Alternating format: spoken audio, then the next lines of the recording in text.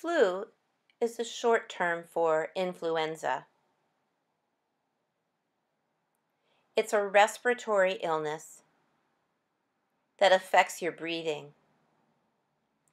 It's a virus and it spreads easily from one person to another. Flu can range from mild sickness to severe serious cases. If people who are normally healthy get sick with the flu, they can usually recover with no medicines or help and with no lasting problems. There are other groups of people who are at a higher risk for problems from flu.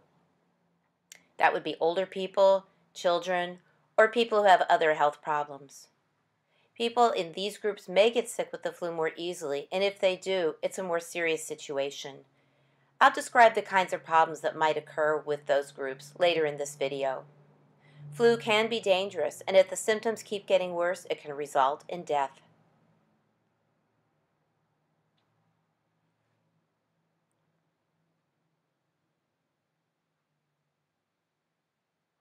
The way that flu is spread and contracted happens in three different ways. First, because flu is a virus, it spreads from people to each other through the air. One way is when we cough. Coughs are bringing air with the virus out of our lungs, so the flu virus from inside us floats out into the air where it spreads out. And the true, same is true for sneezes. The second way people catch the flu is from touching things. If the virus is on a surface, we touch that surface, then we touch our face, eyes, nose, and mouth, and then we become infected. The third way is when a person doesn't know they're sick yet. Perhaps an adult comes down with symptoms and knows they have the flu. They were actually contagious the day before their symptoms began, and they spread the illness without knowing it. They can be contagious for seven days after the day they first feel symptoms. So they can spread flu starting the day before they have symptoms and then another seven days afterwards. These are the three ways that flu is spread.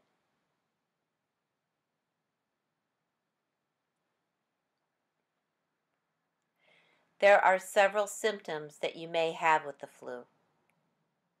You may have a high fever, headache, tiredness, fatigue, coughing, sore throat, runny nose, or stuffy nose, body aches,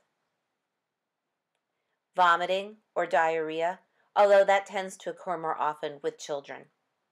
These are all common symptoms associated with the flu. Regular colds can have symptoms that look very much like the flu, so it's hard sometimes to figure out which one you're sick with. They're different viruses, but they have symptoms in common.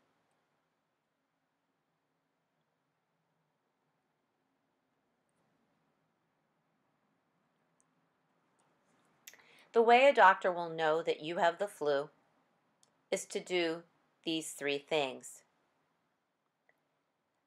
a physical exam, or to test you for the flu, which means that the doctor will take a swab and get a sample from inside your nose to test for the virus. There may be a need for other tests to see if there are other problems.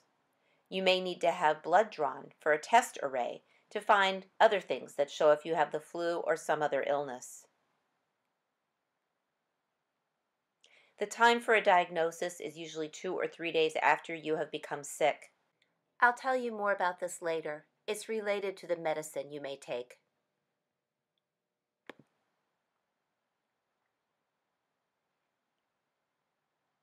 There are risk factors that come up with the flu, which I'll tell you about now. Flu sometimes causes other problems that can become troublesome for you.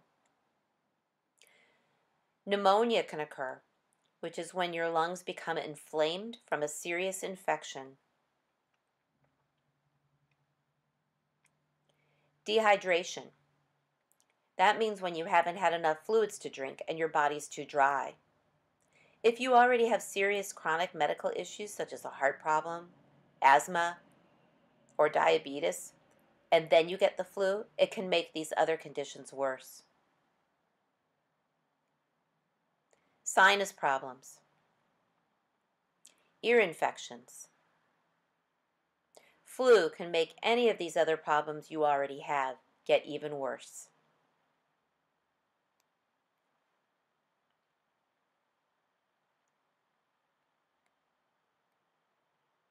Once you know you have the flu and you're staying at home, what can you do to feel better?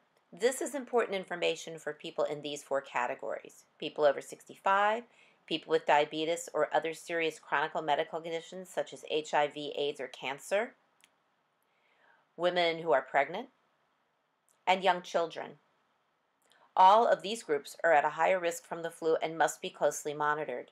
Your doctor may give you special medications to help with the virus, although it can't cure it. Remember, I mentioned that the few days after you actually got sick with symptoms from the flu, you'll be tested. Now I'll tell you the reason why. There's a special medicine called Tamiflu that is only effective the first few days. After three days, the medicine doesn't help to reduce symptoms. It's important to note that Tamiflu does not cure you of the flu and make it end faster. It doesn't work in the same way that antibiotics do, which quickly get rid of infections. Tamiflu is different. It just reduces symptoms. It does not take the flu away and make you 100% healthy again. If you get sick with the flu and you're home, here are things that you should do. Rest. Stay at home and rest a lot. Drink a lot of water. Avoid alcohol. And do not use tobacco products. If your doctor approves, you can go to the store and purchase over the counter medicine that can help you feel better. Now, I'd like to speak directly to those of you who have children or teenagers. If they have high fevers, colds, flu, body aches, whatever, do not give children aspirin. It isn't safe. It can cause serious problems for the child. It's really important for me to emphasize this again. Never give children aspirin. So here's what I'm talking about.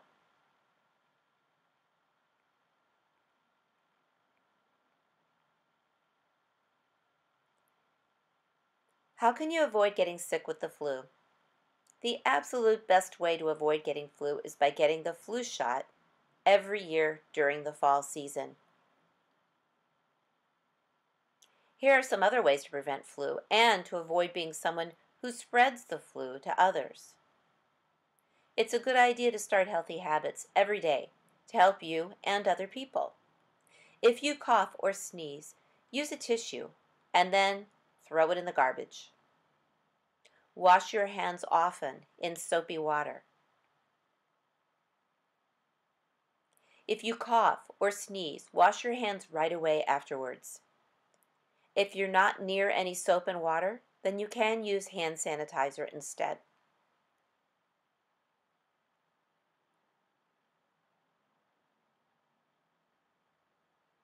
If you have friends or family who are sick, it's best to stay away from them.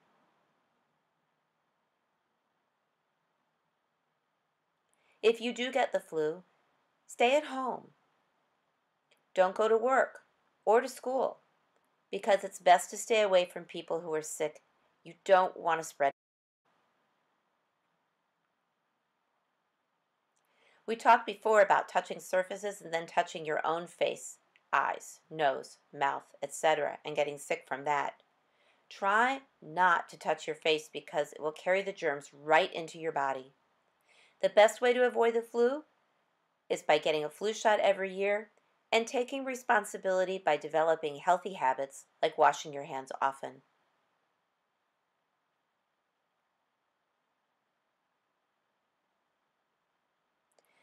About going back to the ER, I want to talk about this idea first in terms of situations involving children, and then I'll focus on adults.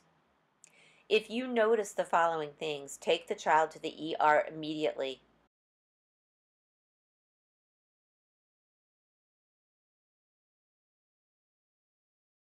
If the child is suddenly having trouble breathing, struggling, and wheezing, if the child's face is becoming blue, if the child is not drinking enough water and even rejects water when offered, if the child is difficult to wake up when you try to rouse them, if the child won't play or talk or show interest in being with others, if you notice the child is irritable and when someone tries to pick them up, they're unwilling to be held. Flu can sometimes seem like it's getting better and then change and get worse again. If fever returns or coughing becomes worse, if there's a fever and a rash at the same time, if you notice any of these symptoms, take the child to the ER. Now let's talk about when to take an adult to the ER. If you notice any of these symptoms, go to the ER immediately. If there's trouble breathing, shortness of breath, or wheezing, pain or pressure in the chest, sudden onset of dizziness, confusion, persistent vomiting that won't stop. If any of these appear, take the person to the ER. When you arrive at the ER, it's important to tell the staff at the reception desk that you suspect you have the flu. They may give you a mask to wear, and if they do, you must use it. The staff may ask you to go into a separate room to keep you from infecting others. A mask or putting you in another room is to protect others from getting the flu also.